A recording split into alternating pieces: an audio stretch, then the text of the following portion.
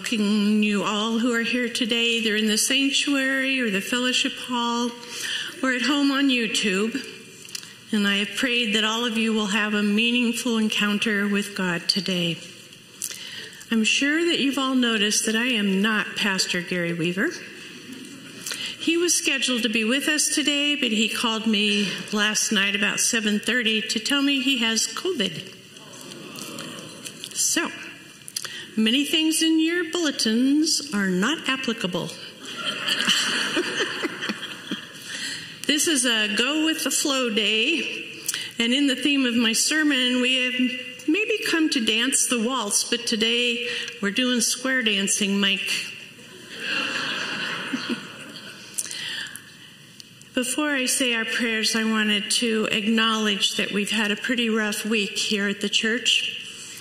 Um, our financial secretary, Pam Johnson, who's been was with us for many, many years, had a major heart attack and ended up dying this week.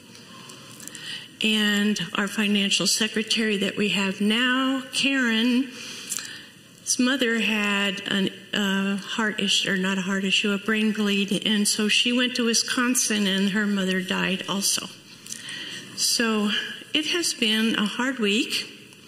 Tom picked a great week to be on vacation, but we'll make it through. Just keep, um, especially Pam's family, in your prayers.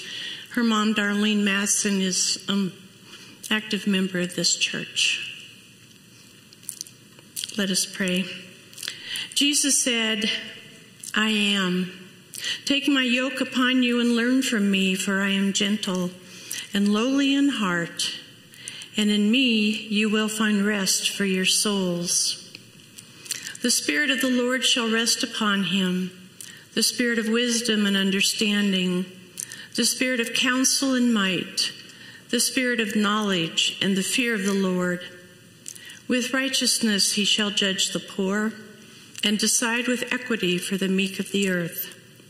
The nursing child shall play over the hole of the cobra and the weaned child shall put his hand on the adder's den.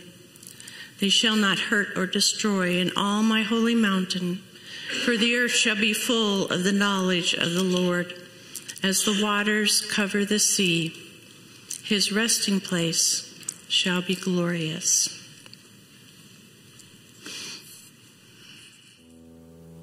Would you please stand and sing along with us? We had Easter a week or so ago, so let's sing some of those songs.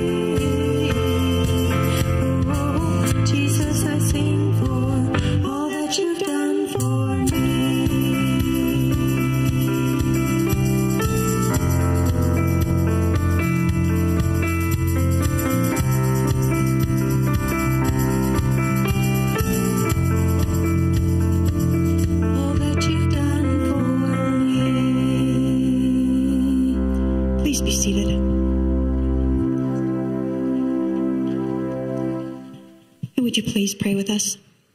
Holy God, we come into this sanctuary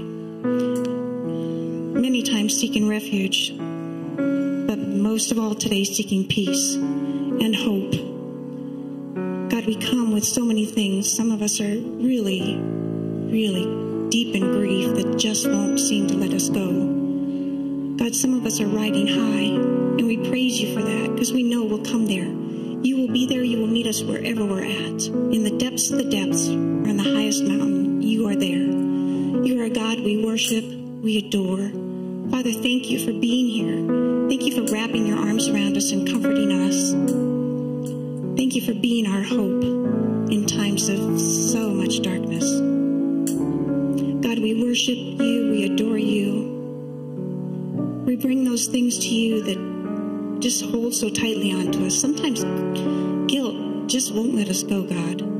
So we bring that to you. Anything that we need to let go of today, things that we're holding so tightly onto that may not even serve us very, they just don't serve us right now. And we can let those go and we know that you wash us and you pick us up and set us on our feet. Say, let's go, child. We've got work to do. So thank you, God. Thank you for this place. Thank you that we can come and lay out all that we have our joys, our sorrows, our concerns, our hopes, and our belief that you are the God that rose from the dead and you are here with us and you will come and get us again. Thank you, Jesus. In your holy name, amen.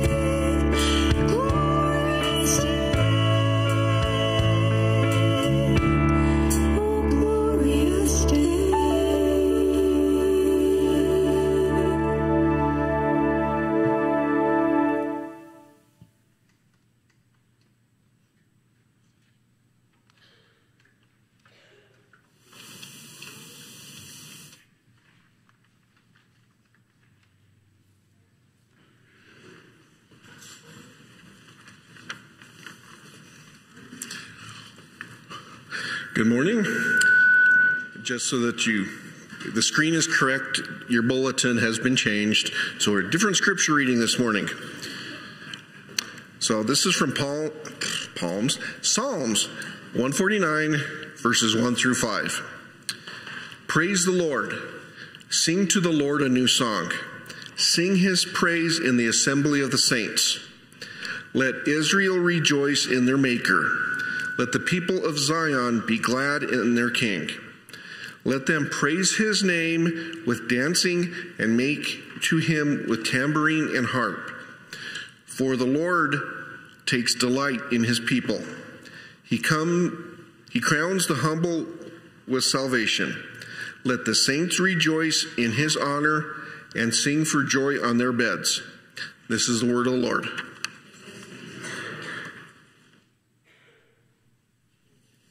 Don't have a chair.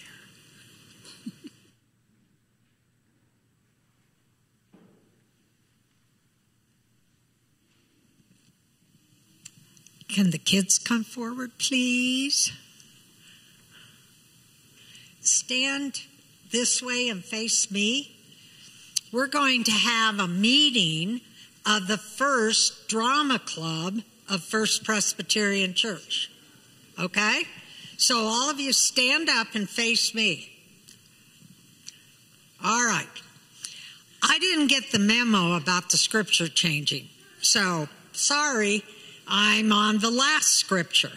And the last scripture was 1 Corinthians 13, 1 through 13, which is all about love. Okay, so today we are going to make a play with that scripture. So we are lucky.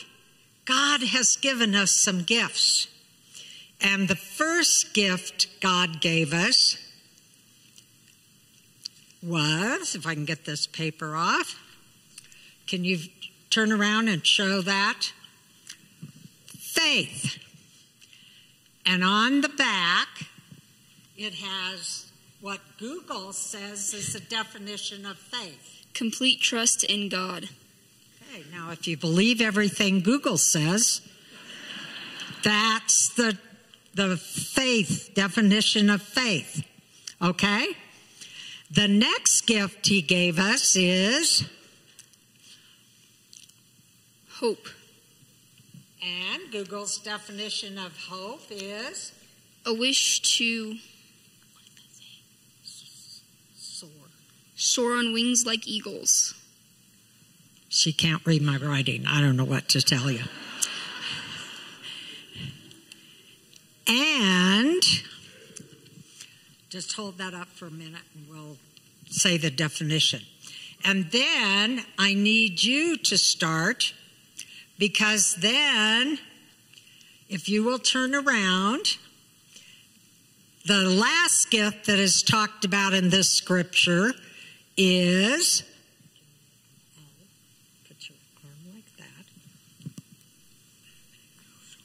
like that.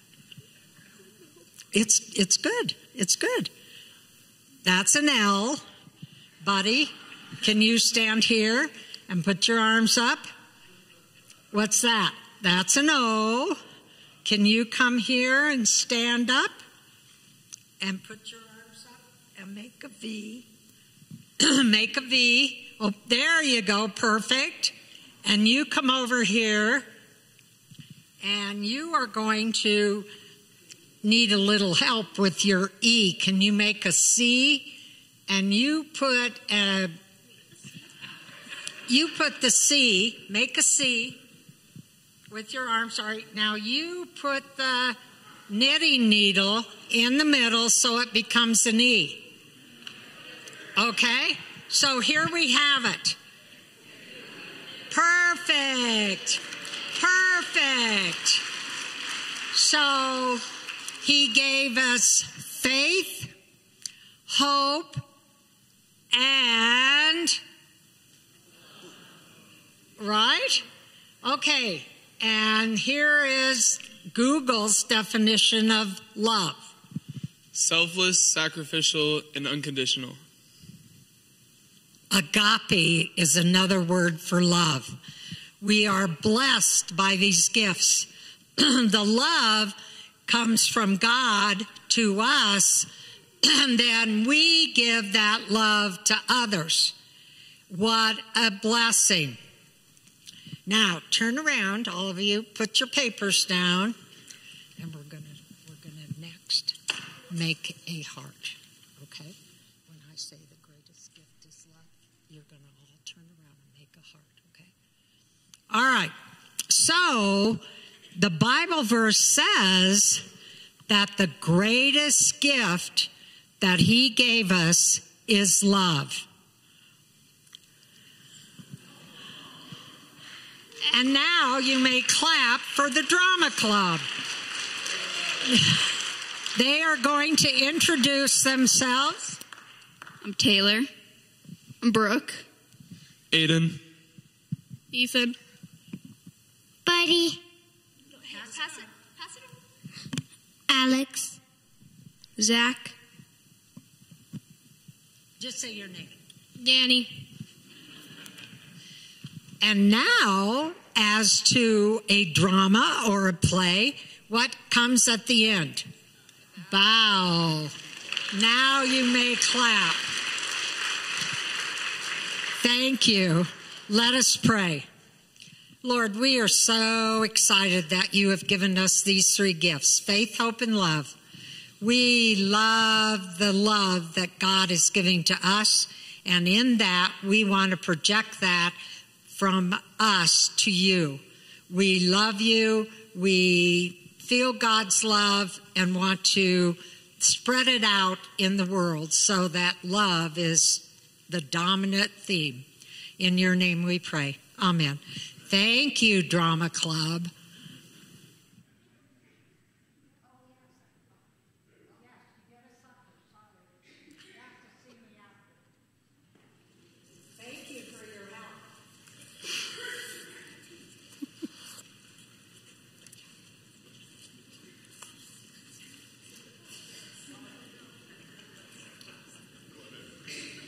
Thanks, Bobby. You might become our director.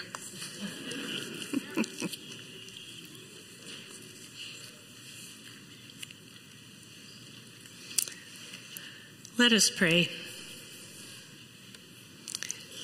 Heavenly Father, we come today to be in community, a community of love, and a community whose hearts are broken and sad because we have loved people that are gone. We ask that you wrap your arms of hope around the families that are hurting so much. And may this message help us heal some of the sorrow that we have today. Amen. Charles Dickens begins his classic novel, A Tale of Two Cities, with these words It was the best of times, it was the worst of times. It was the age of wisdom, it was the age of foolishness. It was the epic of belief, it was the epic of doubt. It was the season of lights, it was the season of despair, of darkness, sorry. It was the spring of hope, and it was the winter of despair. These famous words describing a time very long ago seem appropriate for the times that we are in today. Dickens begins this tale with a vision that human prosperity cannot be matched with human despair. He also tells of a time of despair and suffering on one hand, joy and hope on another. An apt phrase to be used in the context of today's world when, on the one hand, the rich enjoy luxury, while on the other, the poor are struggling, and for every day for their housing, their food, and even their health care. The contrasts are ageless, unfortunately. And in this age of foolishness, of skepticism and unbelief, of darkness and despair, people of faith honestly ask, Where is God? Where is God in this messy time of injustice and horrific deaths, riots, inequality, and war? Where are you, God? And what would you have your people do? This morning, we're going to explore the idea that God is right here in the midst of all of this, just as he was with the Israelites in the desert of Sinai. His hand is here, reaching out to us and asking us to dance with him. Years ago, my mentor for the Commission Pastor program, Sid Skirvin, shared with me a figure he had of three persons dancing in a circle, holding hands. It was a pretty primitive piece, little detail, gray in color. But Sid said this piece of art reminded him of the Holy Trinity dancing. He shared his belief that the three persons of the Trinity, Father, Son, and Holy Spirit, dance with each other in pure love and joy. I must tell you, at that point in my life, this was an eye opener for me. A new concept, a new way to envision the Trinity. And I really liked it. This is love on the move, interacting, joyful love. This is dynamic God love. Richard Rohr says in his book, The Divine Dance, to try to understand the Trinitarian relationship. Whatever is going on in God is a flow, a radical relatedness, a perfect communion between the three, a circle dance of love. And God is not just a dancer, God is the dance of love. It's a round dance, an infinite current, current of love streams without ceasing to and fro, to and fro, gliding from one to the other. And all of us are invited to join them in that dance. Our time with God is our time to dance, a time of prayerful interaction with the God who so desires us, the personal God of love and grace who seeks each one of us to be a partner, a God who asks, Shall we dance? Nietzsche said he could only believe in a God who would dance. The God I know is not one who stands away from us, he says. Nope, my God, our God, is one who seeks relationships in an ongoing dance. Christian author Robert Benson writes If we are to live lives that enable us to hear more clearly who we really are, then we will have to learn to move to a rhythm that is superior to the ones we have fashioned for ourselves or the ones a consumer society has foisted upon us. We will have to discover the rhythms of prayer and life that can be found in the steps of the dances of the Ancient of Days, which are the liturgy, the Eucharist, the liturgical calendar, a worship service, and prayers of confession and intercession.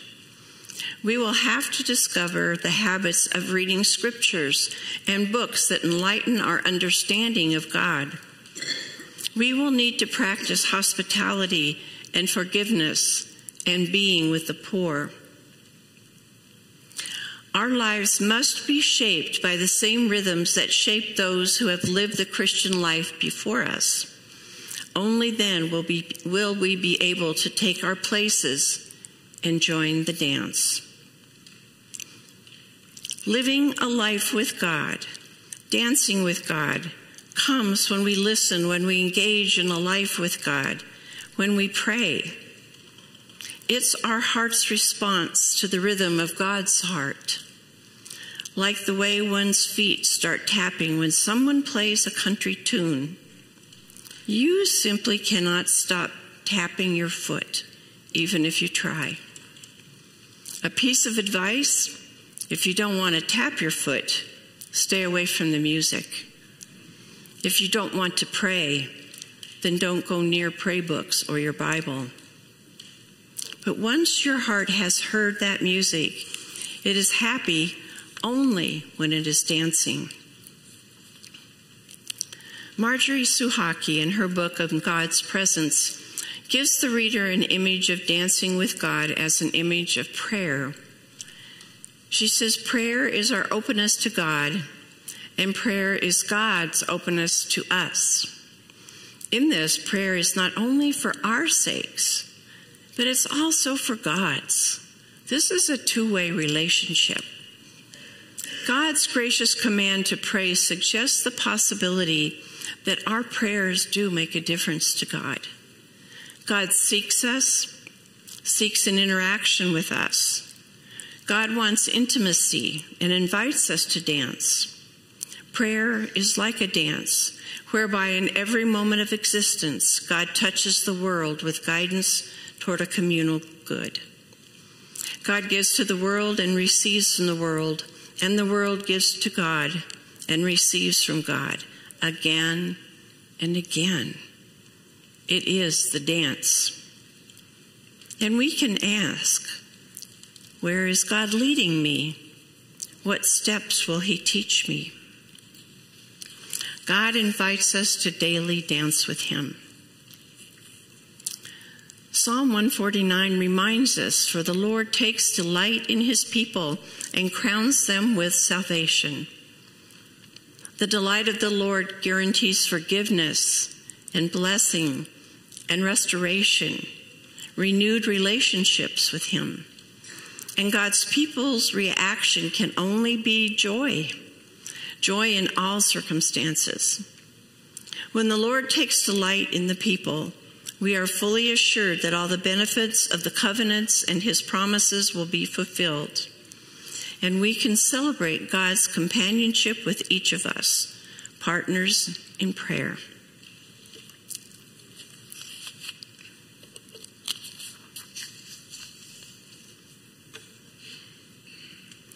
I want to read a story from this book. I've read this to you all before, but none of you will remember it, I'm sure. but it's one of my favorites. Before meeting the disciples on the boat, Jesus is alone on the mountain. He walks down slowly, grinning, after listening to affectionate words from his Father and soaking up the stillness after a day crowded with people and noise. His eyes sparkle as God stirs the wind and sprinkles refreshing drops of rain onto his face through the evergreen boughs. Jesus probably loves walking on the water the way I love walking on the beach in a storm. The fury of the wind and the water careen ecstatically about. But he doesn't feel scared, just exhilarated by nature swirling through the air and at his feet. He is dancing in the waves while the disciples cower in fear. And Peter senses this wild peace as Jesus approaches. Nah, don't be afraid, Jesus laughs as he sees the stricken faces and hears a barely audible whisper, It's a ghost, from the quaking boat. It's only me, he says. Peter, scared as the rest, but intrigued by the peace in the voice, stutters through fear. Jesus, if it's really you, ask me to dance on the water. Come, dance with me, answers Jesus. So Peter steps off the boat onto the whirling, raging dance floor. He looks into Jesus' eyes, letting him lead the first steps on the water. And for a few miraculous moments, they dance. Amazed at the wildness of the dance, Peter looks away just as the sea and the sky and the fish dance more fiercely to welcome him to revelry. Fear grips him as he begins to sink, realizing his feet are anchored on nothing but mystery, moving to a rhythm he doesn't yet understand. Though nature seems to know the same song that coursed through him in the beginning, which frightens and excites him all the more. Lord, save me, he cries, and looks up to find the playful eyes of the one he has come to love but not understand. Why did you doubt? Jesus smiles as he reaches down for Peter's frigid hand and pulls him gently into the boat. We could have danced all night. The storm slows its dance to the rhythm of waves, lapping a lullaby against the small boat. Disciples look in awe on the peaceful, smiling one and their friend, who is beginning to never recover from the taste of the dance. Truly, you are the Son of God, they muttered. No one else could dance like that.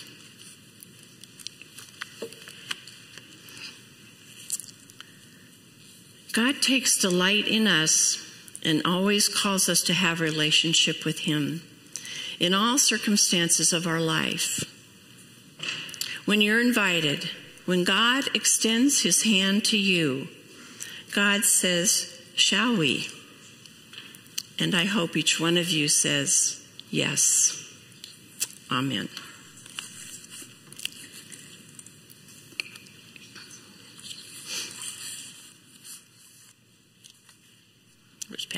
Okay. I need communion servers. I have no idea who's doing this today. so.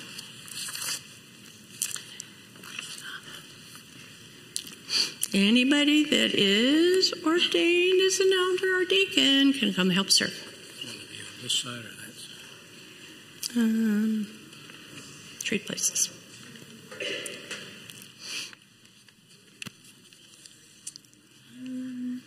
Okay, wait a minute. We only need two, four. I think that's enough. We may have, Dave, maybe you should go pray. Okay. We're okay? All right.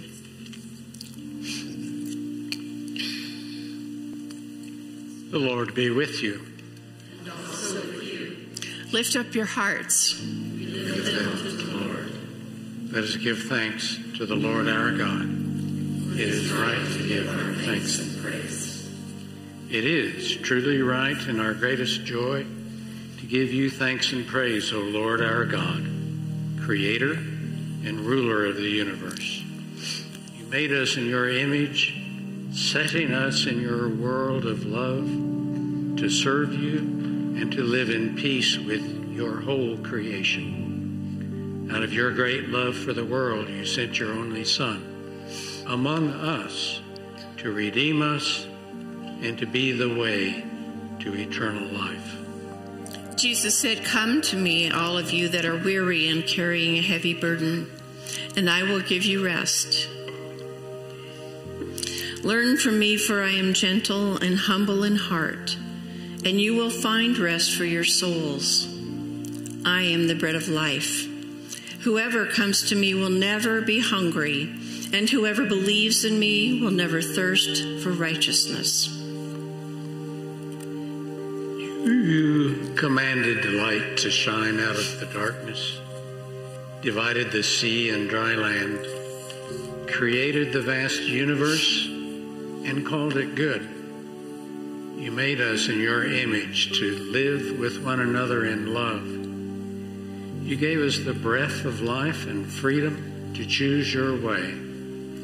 You promised yourself in covenant with Abraham and Sarah, told us your purpose and commandments through Moses, and called for justice in the cry of the prophets.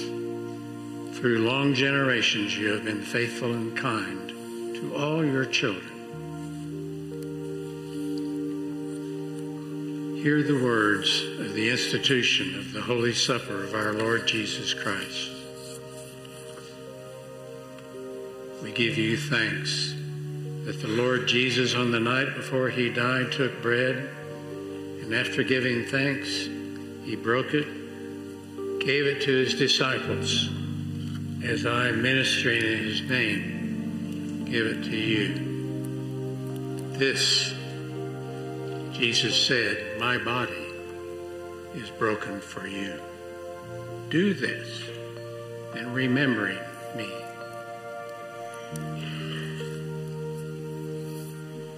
In the same way, he took the cup, saying, This is the cup of the new covenant, the cup of salvation, which has been shed with my blood, my blood, sealed with my blood, for the forgiveness of sins.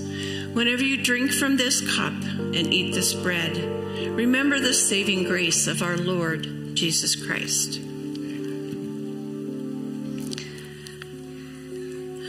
Okay, so directions.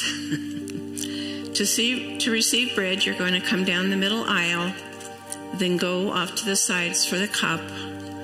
We will have Stephen ministers on the sides if you want to ask for prayer, share a prayer, give them a hug.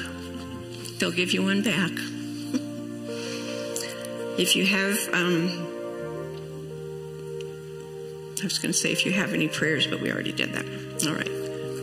We need to trade places so you guys can come back, or maybe you can come around there. Would that be better?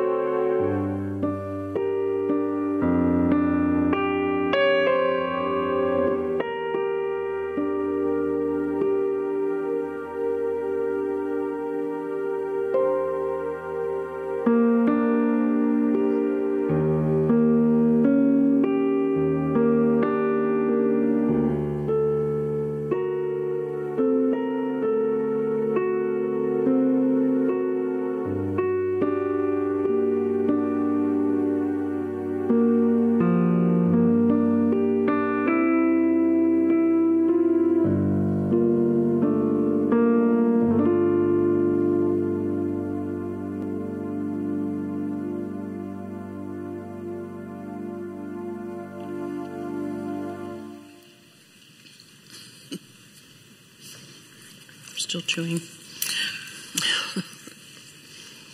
and now, with gratitude for God's blessings through the power at work in Christ Jesus, we gather now the gifts of this church for the sustenance and outreach to our community.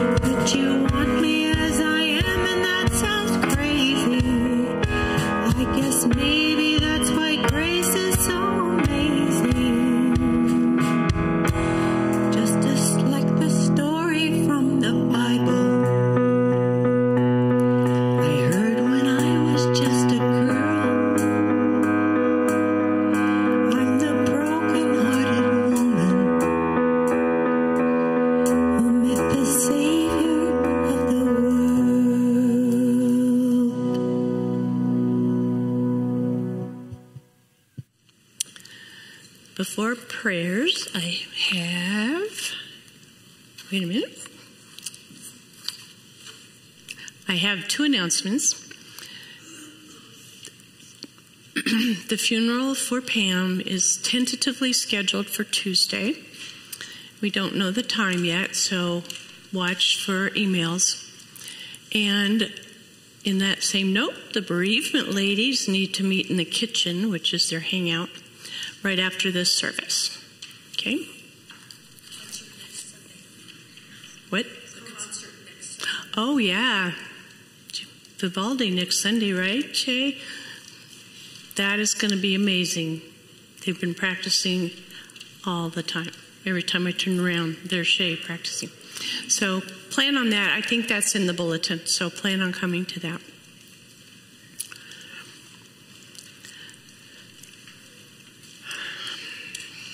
Let us pray.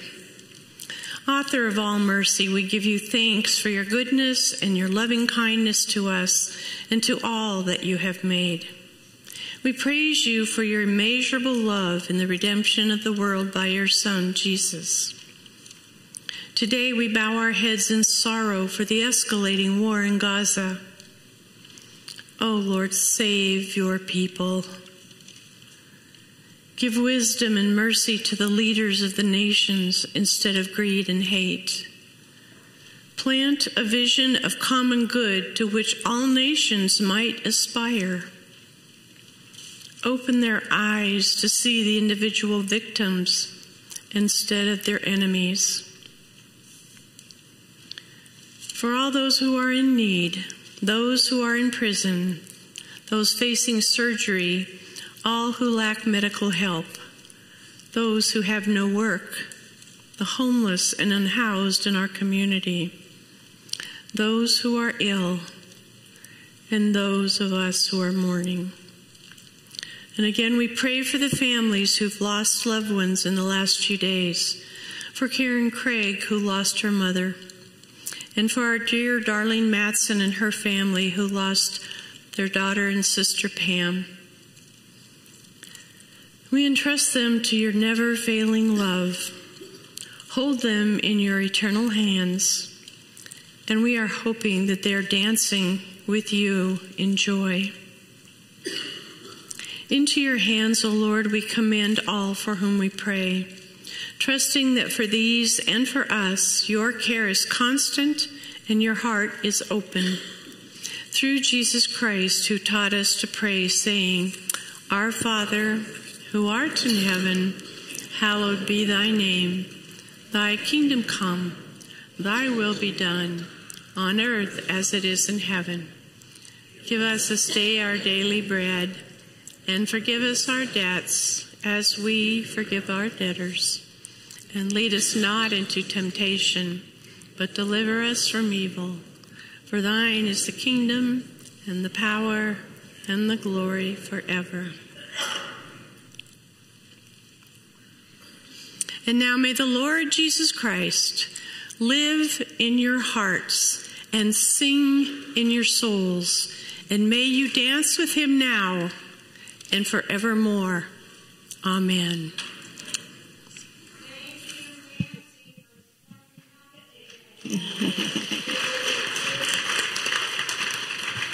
Would you please stand with us and sing a final song?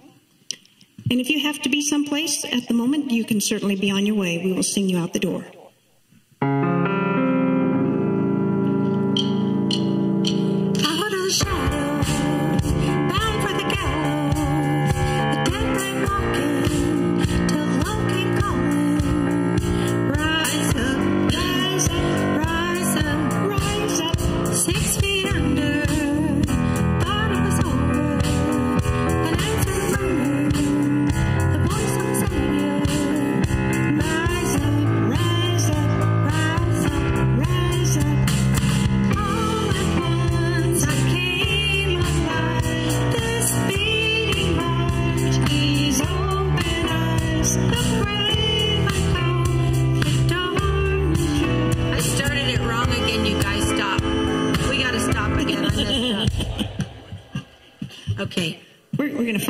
To the wrong key,